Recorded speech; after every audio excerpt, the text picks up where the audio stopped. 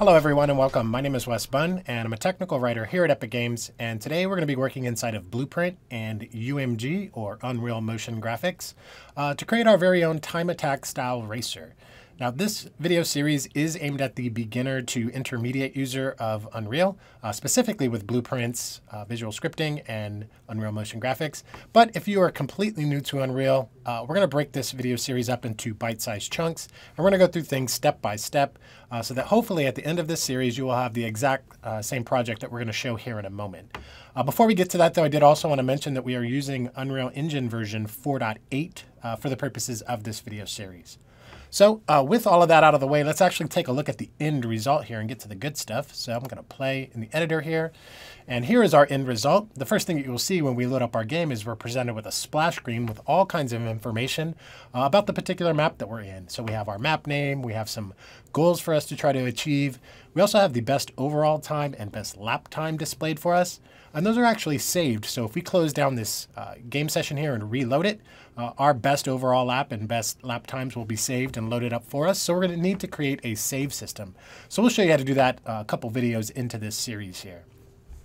So let's actually start the race here. If I left click, uh, you can see we get a little bit of a countdown before we start our race here.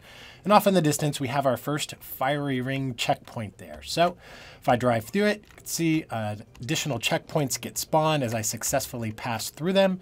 Uh, so we're going to need to create this checkpoint system. And there's going to be several things that we're going to need to consider uh, when we set this checkpoint system up, which I'll talk about briefly here in a moment. Uh, but in the upper right-hand corner of the screen, again through UMG, we've created our in-game HUD, uh, which displays our goals to try to achieve, our current lap our race time, uh, the lap that we're on, the best time for the race, etc. And if I cross this final ring here, you can see we've updated to lap two of two. We got a new lap record there as well, so we're keeping track of our individual lap times uh, behind the scenes. Uh, but back to our checkpoints, there's some things that we're going to need to consider, such as we don't want to allow the player to bypass a checkpoint and enter it from the wrong direction and successfully clear it. Uh, so that's one of the things that we're going to need to consider when we set up our checkpoint, as well as if the player happens to flip the car over and tumbles in backwards into the checkpoint. We still need to make sure that if they are moving in the right direction of the checkpoint, that they successfully clear it.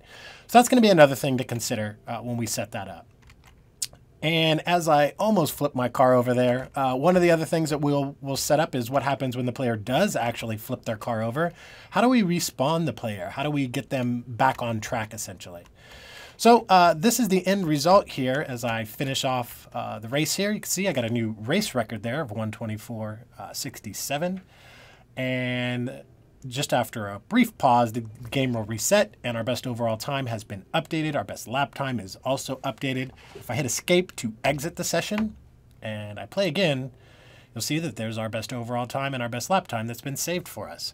So uh, that's uh, what we're going to try to create here. There is uh, some other things that we're going to tackle with this video series, such as setting this system up in a way that it is modular enough that if we wanted to implement our checkpoint system in a new map, uh, that we create, that we would have very minimal uh, work on our part to get our checkpoint system working. So uh, what we'll be doing is, if I fly into the level just a little bit here, we have a little blueprint actor here that contains all the information right here in the details panel about this particular map that we're in. So we can right here set the number of map, uh, laps, we can set our goals to achieve, uh, the default times, etc. All that can be set right here inside of the details panel. So for instance, if I fly out just a little bit here, uh, we have this whole other section over here. If we wanted to create a race out of this, uh, which I've already done, and we'll do this towards the end of the video series here together, uh, all we would need to do is place our checkpoints, make some adjustments to our custom settings, and we would be able to play right off the bat. And when, there you see we have a new map name, we have different uh, goals for us to achieve, our best overall time and lap times are saved individually to this particular level. Uh, so our system is working. All we have to do is just race and, and, and play the game. So uh, we're going to do that towards the end of the series. Once we get our basic framework in place, we'll show you how to set this up so that you can create your own uh, race types and then populate it with our checkpoint system here, and it will just work for us. So uh, that is what we wanted to create. Uh, there's a quick uh, PowerPoint that I kind of wanted to cover really quickly before we jump in to the project creation step in the next video. So let me pop that up really quickly. So I kind of wanted to talk about uh, the things that we're going to cover from a high level perspective uh, for this video series. Uh, this video series is primarily going to be aimed at Blueprint visual scripting and uh, Unreal motion graphics, working inside of those two uh, uh, portions of the editor, and a little bit of Cascade as we start to polish up towards the end, creating that particle effect for our little fiery ring there. So as far as blueprints are concerned, we're primarily going to be focused on these aspects that you see here. So first and foremost, working with different blueprint classes. So what we mean by this is we're going to be working with primarily the player controller uh, blueprint class, but we'll also be touching the game mode. We'll also be creating a save game uh, blueprint class, uh, as well as some others, and we'll get into those as we continue in this video series. Uh, after that, as I mentioned, we're going to be creating our checkpoint system and we're going to need to account for all those things that we talked about, making sure that the player enters the checkpoint from the correct uh, uh, angle, uh, what happens if they flip and tumble through it, etc. Uh, we'll do that as we start setting up our checkpoint system in Blueprint.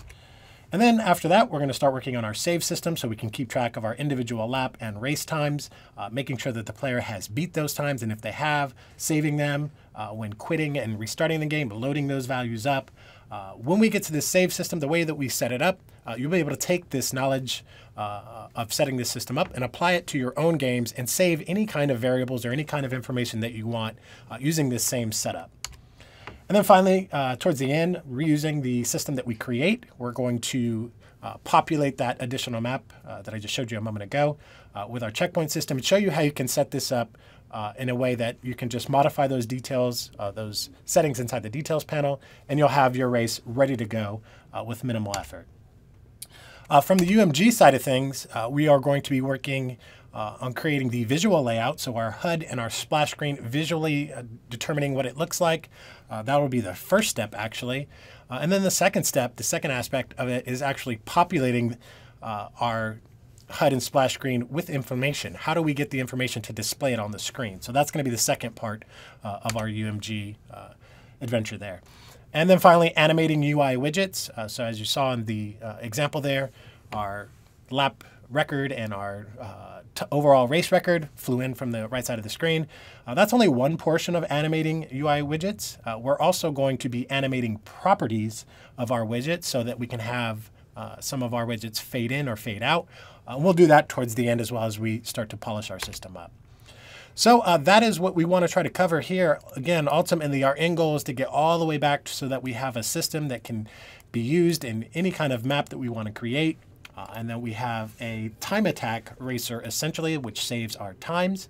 Uh, that is actually going to do it for this video. Uh, in the next video, we are going to get started on project creation and setting up some of the assets that we will need uh, to use later on just to make our life a little bit easier, getting all of our prep work done right out of the gate. So uh, with that, thank you guys for tuning in, and we will catch you in the next video.